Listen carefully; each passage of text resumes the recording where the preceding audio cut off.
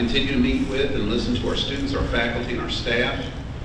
Uh, I can say that uh, our motion, our emotions are swinging like a pendulum. Uh, It appears sometimes at one moment that people are fine, and then the next moment it feels like they're being knocked down by a tidal wave of grief and pain. Naoko was a triple threat artist.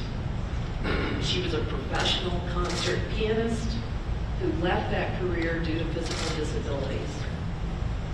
She embroidered beautifully, creating her own designs.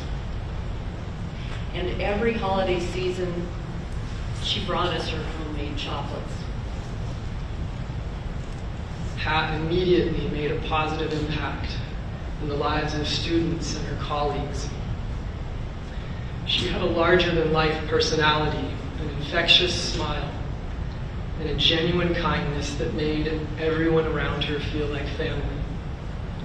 She loved gatherings, the more the merrier, she would say. She loved baking and sharing, especially dessert items. Her creme brulee and macarons were, were not to be missed. Jerry was a rigorous researcher and a good teacher who deeply loved his student at UNLV. In fact, he loved UNLV so much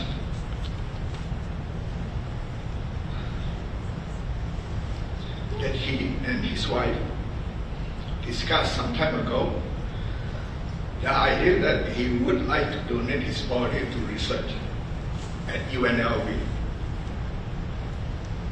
In a word,